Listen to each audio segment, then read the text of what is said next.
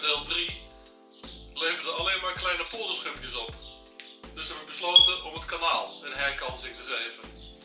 Deze keer met boilies, want de tijgenoten die bewaar ik nog even voor van de zomer. Nou, ik ga inpakken, omkleden en dan gaan we vissen.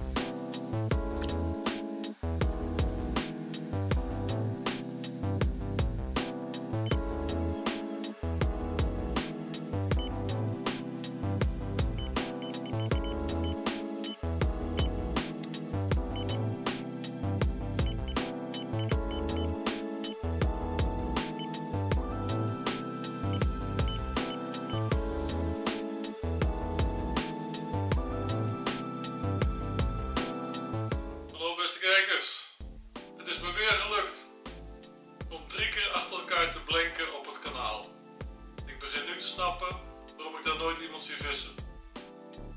Er zit gewoon waarschijnlijk weinig karper. Maar het kan natuurlijk ook zijn dat het een typische nachtstek is. Of een typisch zomerwater. Ik geef het dan ook niet op. Maar morgen ga ik toch maar eventjes op de wetering vissen. Want eh, ja, na drie keer blenken wil je wel weer eens een keer een kromme hengel.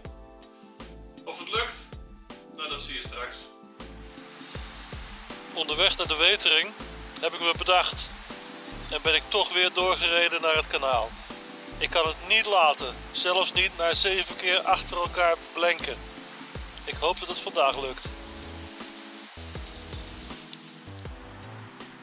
Mijn favoriete stekken staan helemaal vol met waterplanten. Ik kan er niet vissen. Dus ben ik toch weer op het kanaal terechtgekomen. Eh, ik was hier vanochtend om half zes. Het is nu bijna tien uur. En ik ga weer blenken. Voor de negende keer op rij op dit kanaal. Dat is dan de prijs die je moet betalen. Als je zoekt naar nieuwe stekken. Niet s'nachts wil vissen. En aangewezen bent op dit kanaal glashelder, voedselarm en vis die volgens mij alleen nog maar s'nachts aast. Triest voor woorden, maar ik geef het niet op. Voordat ik verder ga op het kanaal, ga ik een avondje mijn aas testen. Dat had ik natuurlijk veel eerder moeten doen, maar ik had zo'n blind vertrouwen in Procalvit dat ik me helemaal niet afgevraagd heb of die productieboiler wel deugt. Nou, we gaan het vanavond zien. Ik heb niet voorgevoerd en ook vanavond ga ik niet voeren. Geen enkele boilie. Het enige wat eraan gaat is een snowman op één hengel en een losse boilie op een andere, ondersteund door een zakje kruim. Verder niks.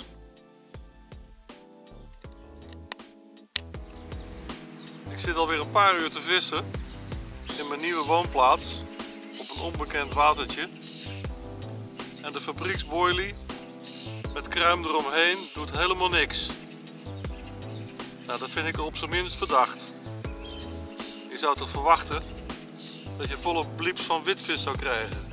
En dat is niet het geval. Nou, ik geef het nog een uurtje. Zie ik toch nog niks, dan gaat deze boilie op de verdachte lijst oftewel de vuilnisbak in.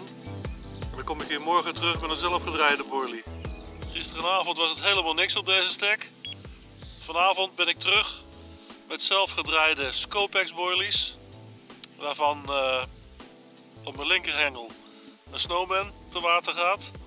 En rechts dezelfde boilie, maar dan met een Procalvit soaking. Ik hoop dat het werkt. Ik ben al heel snel 100 meter verkast. Want er lagen een paar dampende hondendrollen op mijn stek. Gelukkig rook ik het net op tijd.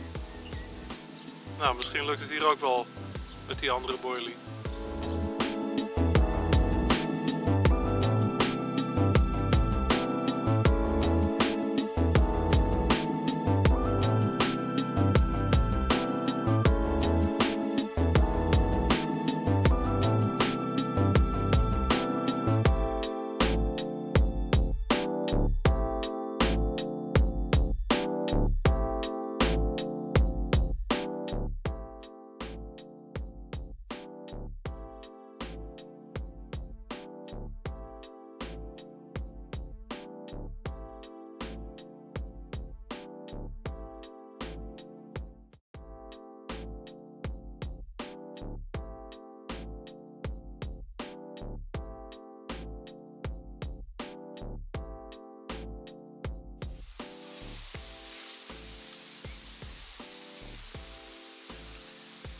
Hetzelfde water, dezelfde tijd, maar met een andere boilie. Nou, ik hou het maar op toeval. Al is het uh, wel leuk dat dit een uh, Procalvit boiler was. Ik ga hem snel uh, terugzetten, deze rakker. Het is een typische flevovis, enorm uithoudingsvermogen. Je moet ze echt helemaal uitdrillen. Anders komt het niet goed. Dan krijg je ze gewoon niet geschept. Ik weet genoeg. Ik ga weer voeren op het kanaal, maar nu met een Scopex boilie. En over een paar dagen zit ik weer lekker op een plek in de polder. Zonder honden, zonder hondendrollen, lekker in mijn uppie. Tot dan.